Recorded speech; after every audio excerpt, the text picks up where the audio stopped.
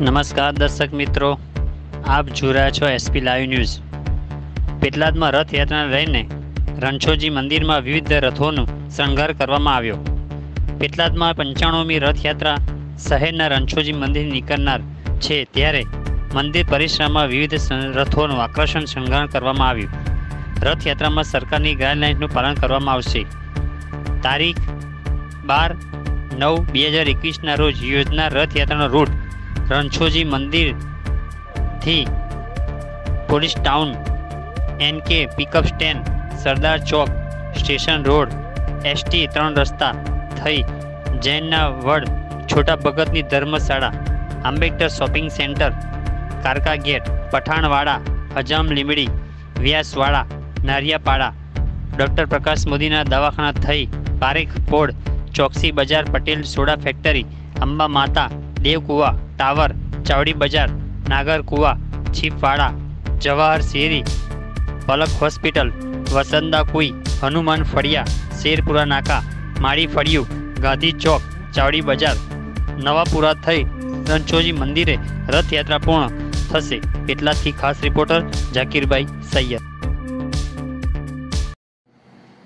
Borsad town અને પેટલા town વિસ્તારમાં પરંપરાગત રીતે ઉજાતી ભગવાન જગન્નાથજીની રથયાત્રા નીકળવાની છે. બોરસદ ટાઉનની આજરોજ સાંજે ચાર વાગે રથયાત્રા નીકળવાની છે અને પેટલા ટાઉનને આવતીકાલે બપોરે બે વાગે નીકળવાની છે. કોરોના મહામારીને ધ્યાનમાં લઈને સરકારશ્રીએ કેટલીક ખાસ સૂચનાઓ અને ગાઈડલાઈન બહાર પાડેલી છે.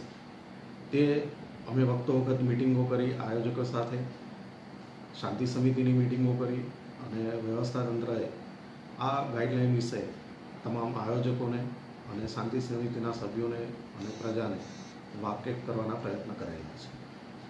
આ ગાઈડલાઈન પ્રમાણે સાહીઠથી વધારે માણસો આ રથયાત્રામાં જોડાઈ નહીં શકે.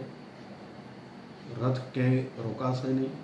પ્રસાદ વિતરણ પણ બંધ રાખવામાં આવેલું છે. સોશિયલ ડિસ્ટન્સિંગ જાળવવાનું છે. માસ્ક વગેરે જે પ્રોકોશન્સ લેવાના છે એ રાખવાના છે. અને આ ગાઈડલાઇનને અનુસરીને અમે તમામ વ્યવસ્થા ગોઠવેલી છે.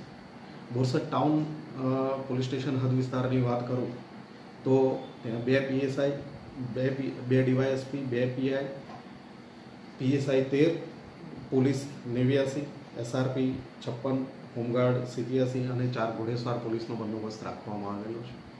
તે જ રીતે પેટલા ટાઉન હદ વિસ્તારમાં ત્રણ ડીવાયએસપી, બે પીઆઈ, સત્તર પીએસઆઈ, એકસો સોળ પોલીસ, પાંત્રીસ એસઆરપી, હોમગાર્ડ બસો અગિયાર અને ચાર ઘોડેસવાર એ રીતની વ્યવસ્થા ગોઠવવામાં આવેલી છે.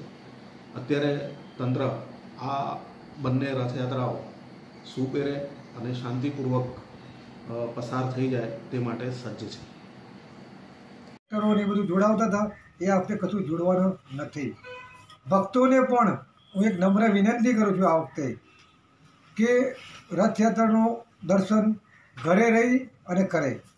આ વખતે કોરોનાને કારણે બહાર નીકળી અને ટોળા ના કરે. આવતા વર્ષે જો સારા કોરોનાનો પ્રોગ્રામ નહીં હોય, કોરોના નહીં હોય, તો આના કરતાં બી સારે ભારે હર્ષોલ્લાસથી આપણે રથયાત્રા કાઢીશું. નમસ્કાર.